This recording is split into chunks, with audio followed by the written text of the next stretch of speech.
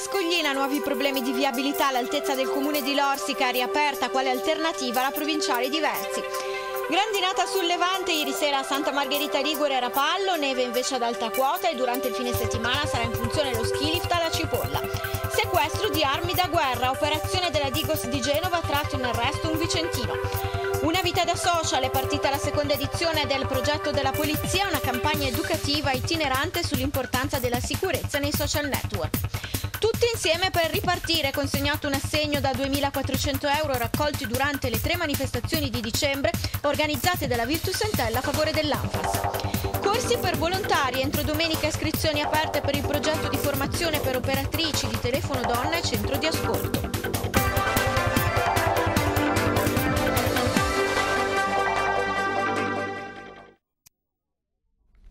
Buonasera ai telespettatori del TG Tiguglio, dunque come avete appena sentito dai nostri titoli ancora la viabilità in primo piano con ancora problematiche lungo le strade interne, in particolar modo siamo in Val Fontana Buona, chiusa la provinciale della Scoglina all'altezza del comune di Lorsica per un'altra frana che ha interessato appunto eh, la zona. Facciamo il punto con il servizio.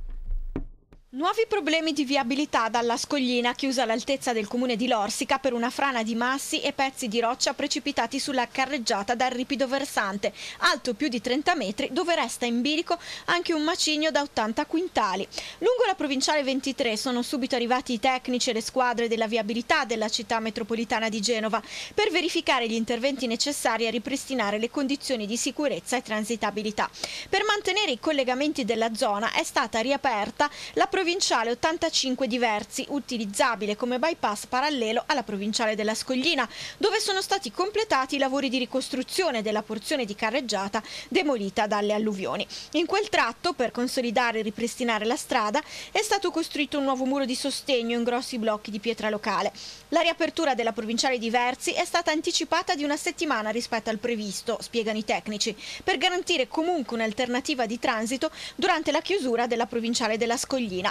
L'urgente necessità dell'apertura ha impedito di ultimare gli interventi con nuove asfaltature, ma su quel tratto della carreggiata è stato comunque esteso un fondo compatto di ghiaia. E alla luce della chiusura della strada della Scoglina, interdetta da Monleone, i cittadini chiedono a chi transita in zona, passando per versi, di procedere a rilento, poiché l'arteria è stretta e spesso, oltre agli automobilisti, circolano, circolano anche i mezzi pesanti che raggiungono le cave. Dunque bene essere prudenti durante il percorso utilizzato, come detto, anche dai camion. Neve a quote alte nell'entroterra, grandine lungo la costa, così si è presentata la giornata di ieri e anche la notte eh, scorsa nel Tiguglio. Vediamo.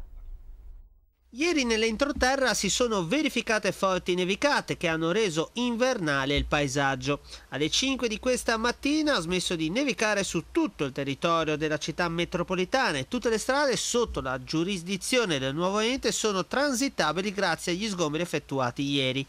In Val d'Aveto la neve è caduta solo a quote superiori ai 500 metri.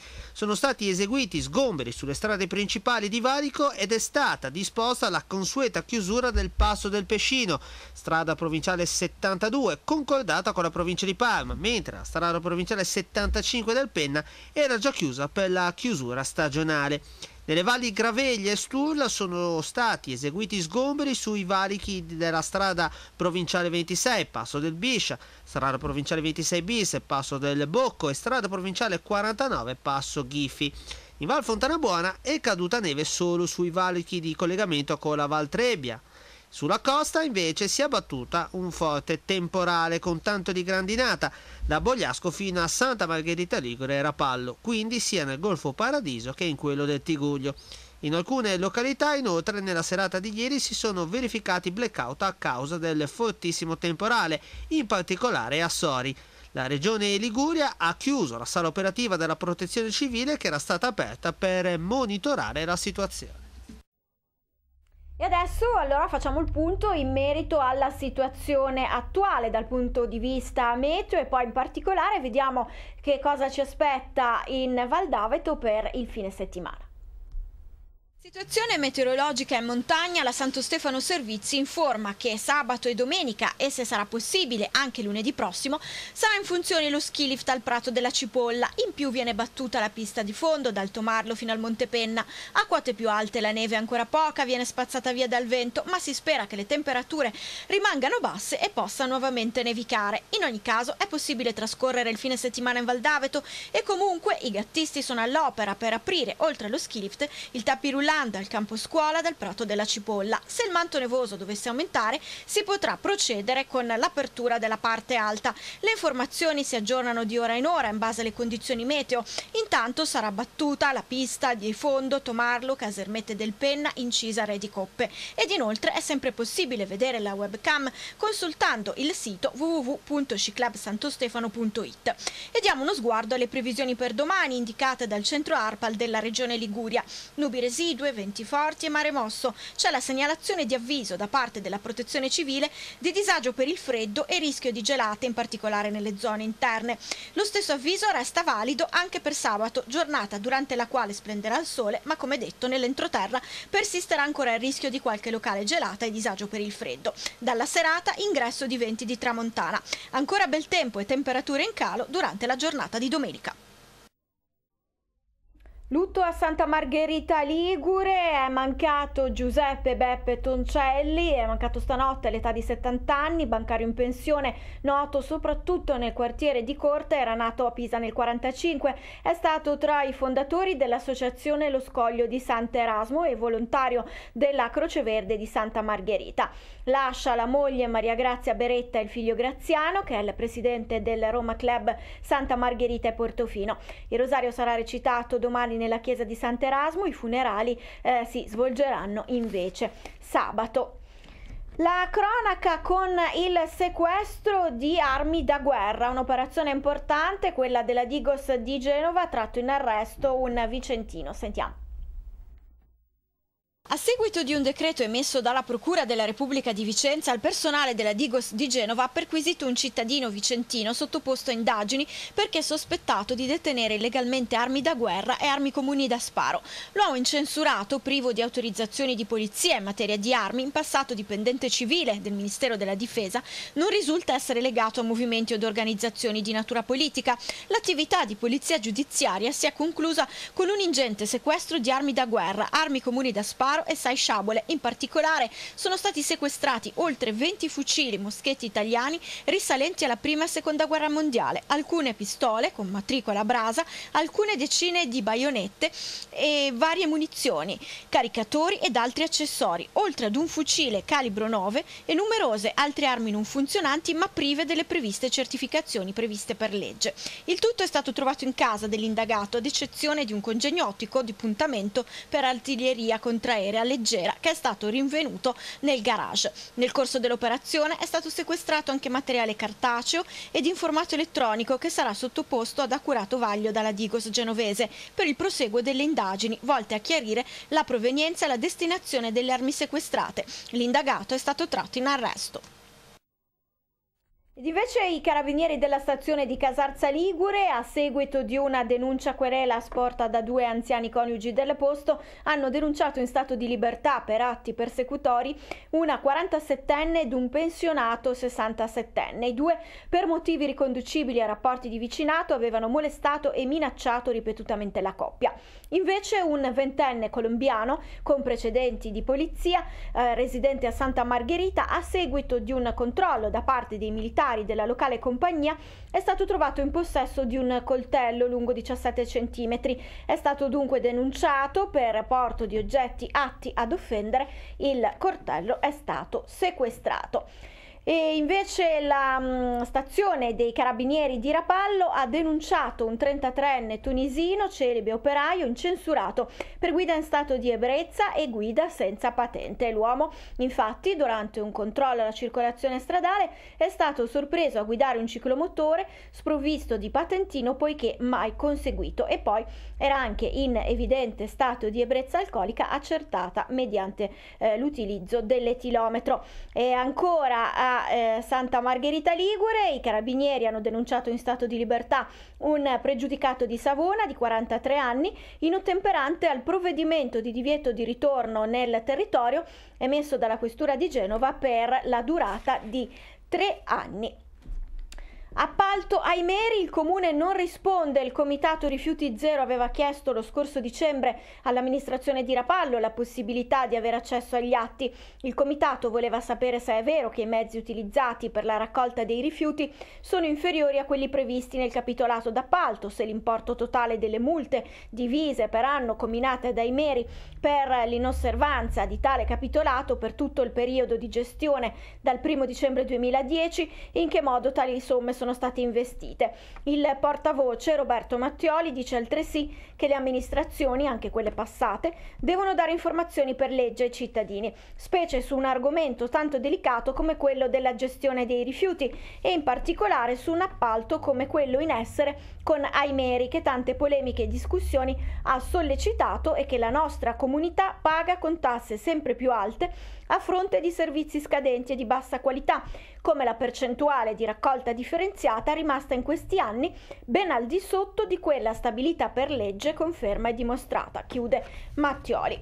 E veniamo ancora al supermercato di Via Vecchie Mura a Chiavari. Oggi ad intervenire è il circolo del eh, PD Chiavarese appunto che vuole sottolineare come le valutazioni espresse dal Comitato Tecnico Urbanistico Provinciale vengano ad avvalorare la tesi che il PD ha sempre sostenuto, e eh, cioè che fuori del perimetro della legalità non si danno possibilità di sviluppo economico e civile. Questo è stato infatti il motore autentico, al di là di quello che dice Levaggi, della battaglia che il Partito Democratico, insieme ad altri gruppi dell'opposizione, ha combattuto nei mesi scorsi. Non la difesa degli interessi di qualcuno a danno di qualcun altro, ma la rivendicazione del primato delle norme condivise quale chiave per la tutela dell'interesse collettivo, ha detto il segretario del circolo Mauro Ferretti. Ed invece il capogruppo di partecipativa a Chiavari, Giorgio Canepa, ha presentato una mozione urgente sugli interventi sul Fiumentella affinché il comune di Chiavari prenda una posizione. Dice Canepa, nel caso si dovesse fare la cosiddetta colmatina, pur essendo ubicata verso Lavagna, gli eventuali effetti disastrosi si avrebbero soprattutto sulla sponda di Chiavari, in particolare nella zona a monte del ponte della Maddalena. Inoltre l'eventuale depuratore con condotte per i liquami da Sestri Levante alla foce dell'Entella, nel caso di disastri avrebbe ripercussioni pesanti importanti sulle spiagge di Chiavari, visto che i flussi delle correnti vanno da Levante verso Ponente. Danni causati da storni per farvi fronte è possibile ottenere una deroga alla caccia. A comunicarlo è l'assessore all'agricoltura del comune di Ne in Val Graveglia, Marco Bertani. È quindi necessario presentare in tempi brevi un congruo numero di segnalazioni. È possibile rivolgersi, dice sempre l'assessore, alle associazioni di categoria per la compilazione dei relativi moduli. Si chiama Una vita da social e si tratta del progetto promosso dalla Polizia di Stato per sensibilizzare soprattutto gli studenti sull'importanza della sicurezza nei social network. Vediamo. È partita la seconda edizione di Una vita da social, la campagna educativa itinerante sui temi dei social network, del cyberbullismo, dell'adescamento online e sull'importanza della sicurezza della privacy. A realizzarla la Polizia di Stato interessa tutto il territorio per prevenire i rischi e i pericoli della rete. Il progetto approderà a Genova la settimana prossima, dal 27 al 30 gennaio. Gli agenti incontreranno studenti, docenti e famiglie per confrontarsi sui temi della sicurezza online con un linguaggio semplice ma esplicito adatto a tutte le fasce d'età. Secondo una ricerca di scuola.net realizzata per la Polizia di Stato su un campione di circa 10.000 studenti di scuole medie superiori, solo uno studente su cinque afferma che i social hanno un ruolo marginale nelle relazioni. I social network infatti sono ormai diventati uno strumento di comunicazione del tutto integrato nella quotidianità. Tra i motivi principali che spingono i ragazzi all'uso dei social ci sono infatti il desiderio di informarsi sia sulle notizie sia su quanto accade ai propri amici e conoscenti conoscenti, ma anche sostituire per ragioni di risparmio economico telefonate ed sms. Quasi l'85% degli studenti appartiene a un gruppo classe su WhatsApp, che per la maggior parte di loro costituisce uno strumento equivalente al tradizionale gruppo di studio. Da questo ne discende la necessità di disporre sempre una connessione internet. Quando viene a mancare, uno su sei ammette di provare un senso d'ansia e di prodigarsi per ristabilire subito l'accesso alla rete, mentre la metà degli intervistati vive questa situazione con fastidio ma senza fretta di riconnettersi. Preoccupa in maniera più forte il fenomeno del cyberbullismo. Circa due ragazzi su tre ritengono che fenomeni di questo tipo siano in aumento. Infatti la metà di loro ha avuto esperienza diretta o indiretta di fenomeni così. Per questo motivo 4 su 5 accoglierebbero con favore incontri con esperti per formare gli studenti all'uso dei social. Domani alle 18 si terrà una riunione di Consiglio Comunale convocata d'urgenza dalla minoranza di Moneglia per trattare il tema del vincolo pubblico insistente sul sedime oggetto di costruzione del parcheggio La Piccola. Il gruppo per Moneglia attraverso Vernengo chiede una maggiore contropartita pubblica dovuta al risparmio da discarica del materiale utilizzato per il ripascimento delle spiagge. Il TAR del Lazio in merito alla decisione sull'IMO agricola non ha confermato la sospensiva dell'obbligo del pagamento, ma sembra abbia confermato le pesanti censure al decreto di economia interna e politiche agricole, facendo presagire una bocciatura nel merito se il governo non lo ritoccherà. Resta comunque aperta un'altra sospensiva su un altro ricorso in calendario per il prossimo 4 di febbraio. Queste sono le parole usate dal vice sindaco di Sestri Levante Pietro Gianelli, il quale aggiunge che il Comune oltre ad aver deciso di proporre unitamente ad altre amministrazioni un ulteriore eh, ricorso, eh, così come Casarza Ligure, sta predisponendo la Carta dei diritti del contribuente che porterà all'approvazione del Consiglio Comunale quanto prima. Approvato in Consiglio regionale il piano dell'offerta formativa, confermato l'indirizzo scientifico sezione sportivo per il liceo Fortunio Liceti di Arapallo. Eh, a comunicarlo Roberto Bagnasco, il consigliere di Forza Italia, che vede finalmente confermata la richiesta che va a soddisfare un'esigenza importante per i giovani e le famiglie del Levante Ligure e dice avevo presentato un ordine del giorno e trattato un'interrogazione in Consiglio regionale a gennaio e a dicembre 2013. Finalmente con il prossimo anno scolastico pubblico, anche in liceti potrà essere attivata una sezione di indirizzo sportivo. Con DJ e scuole di ballo sono stati raccolti 2.400 euro per l'ANFAS alluvionata. È il bilancio delle manifestazioni natalizie di dicembre coordinate dalla Virtus Entella. Vediamo. Grazie allo spirito di solidarietà dei chiavaresi e non, al patrocinio del comune di Chiavari, alla collaborazione della giunta insieme a tutti gli uffici comunali, lo scorso dicembre ha preso il via la rassegna dedicata alla beneficenza per il post alluvione dello scorso 10 novembre. Rassegna che questa mattina ha permesso di consegnare il contributo di 2.400 euro nelle mani del presidente dell'ANFAS Tiguglio Est Onlus Egle Folgori. Sono tre le manifestazioni coordinate dalla Virtus Entella realizzate a Chiavari nell'arco di un solo mese e che hanno permesso di raccogliere questa somma di denaro. Il 23 e 26 dicembre i bar del centro prima e del lungomare dopo hanno organizzato delle serate con DJ set scegliendo di sostenere un contributo per i DJ, i quali lo hanno devoluto in beneficenza, spiega il direttore artistico della Virtus Entella Sabina Croce. Notevole è stato anche l'impegno delle scuole di danza che in occasione della festa della Befana hanno organizzato delle esibizioni danzanti nelle piazze della città. Si tratta di manifestazioni che oltre ad aver permesso di raccogliere un importante contributo benefico hanno aiutato ad animare Chiavari nel periodo festivo subito dopo quello che è stato sicuramente l'evento più devastante per la città negli ultimi decenni. Una, uno spettacolo benefico si svolgerà al Teatro Cantero di Chiavari venerdì sera con inizio alle ore 21. La serata benefica in questo caso è a favore della ricostruzione del Parco Giochi Talassano di eh, Chiavari. Lo spettacolo ha ricevuto il patrocinio del Comune di Chiavari ed è ideato da Angela De Rosa, napoletana doc, eh, molto conosciuta nel comprensorio per vari spettacoli musicali organizzati a favore di varie associazioni benefiche benefiche. Eh, l'evento eh, si avvale della collaborazione dell'Associazione Culturale Echi di Liguria e eh, l'iniziativa prevede un omaggio alla canzone napoletana d'autore. Adesso parliamo invece di un corso di formazione per operatrici volontarie, telefono donna e centro d'ascolto. È possibile iscriversi fino a domenica, gli incontri poi si svolgeranno a Sestri Levante, ma sentiamo i dettagli. Corso di formazione per operatrici volontarie, telefono donna e centro d'ascolto. La finalità è quella di preparare nuove operatrici al delicato approccio con le donne vittime di violenza, ponendo particolare attenzione alla fase di primo contatto telefonico e di accoglienza. Il corso è aperto a tutte le donne che vogliano avvicinarsi all'associazione e alla problematica delle donne vittime di violenza. Per essere ammesse è necessario inviare una mail di presentazione a seguente indirizzo teldonna.cifchiavari.it www.aspiranti.it. Le domande dovranno pervenire entro domenica. Le aspiranti volontarie verranno ricontattate per un colloquio. Gli incontri di formazione si terranno in via Costantino Raffo a Sestri Levante e il calendario sarà così articolato sabato 7 e domenica 8 febbraio e ancora il 14 e 15 febbraio. Il corso di formazione è finanziato grazie ai proventi del progetto Calendario 2015 Il potere delle parole, realizzato da Telefono Donna, se non ora quando, Tiguglio e TIF Tiguglio Fotofoto forum, pertanto le aspiranti volontarie eh, parteciperanno gratuitamente.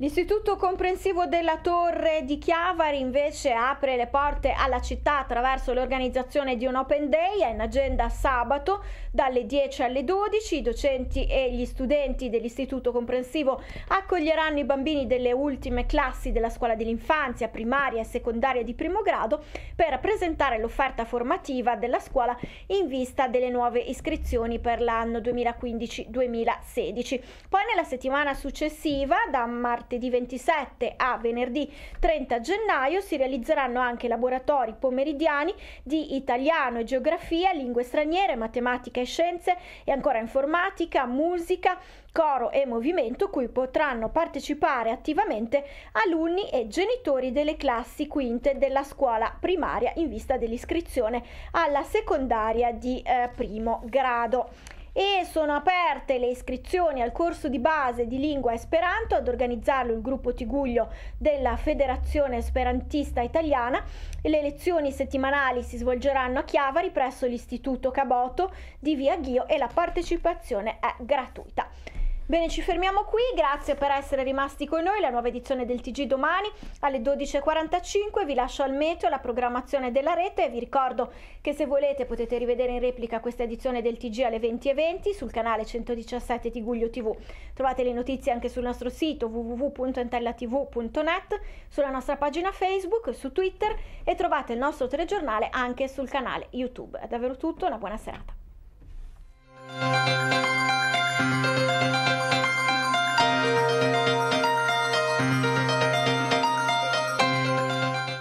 Previsioni per venerdì 23 gennaio.